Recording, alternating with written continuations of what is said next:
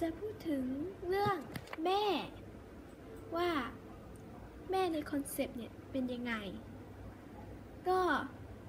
เหมือนก็แบบว่ายังไงอะแม่เนี่ยปกติแล้ววาดแม่เนี่ย ก็จะเป็นรูปเดียวอย่างนี้ก็จะเป็นรูปเดียวปกติธรรมดา แต่ว่าเอ่อเราพอเรา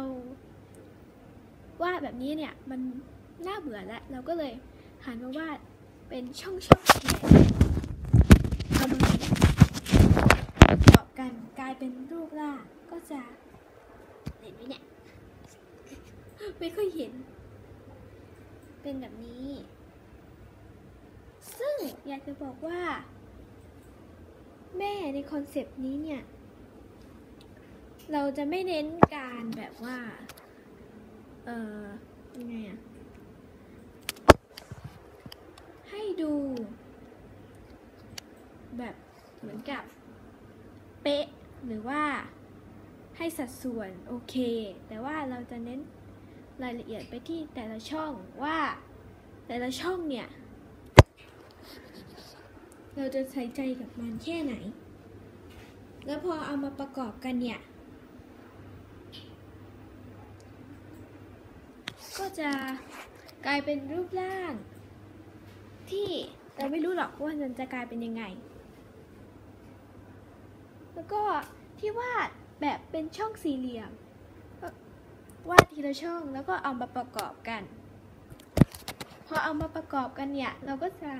รู้ว่าเฮ้ยแม่เนี่ยปกติเราวาดแม่เนี่ยมันก็จะแบบไม่เหมือนกันอยู่แล้ว แม่ใน กริยาบทต่างๆ ที่เราวาดเป็นภาพเดียวเนี่ยมันก็ไม่เหมือนกันอยู่แล้ว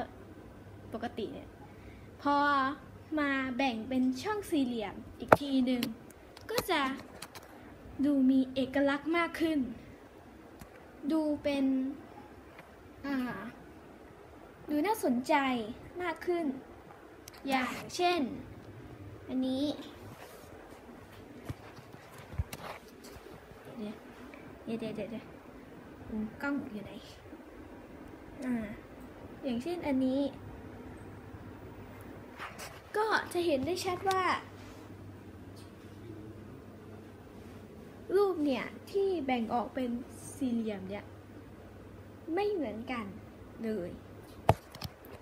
พอเอามาประกอบเนี่ย เราก็แบบตื่นเต้นไงว่า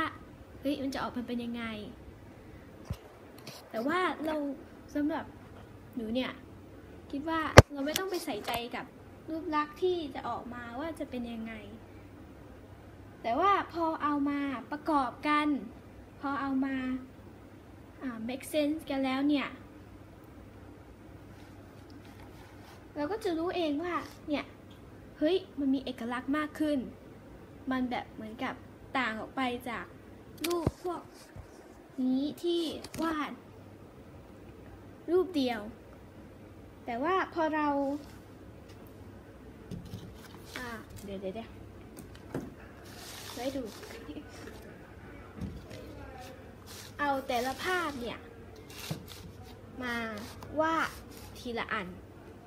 แล้วพอเอามาประกอบ ก็จะรู้สึกว่ามี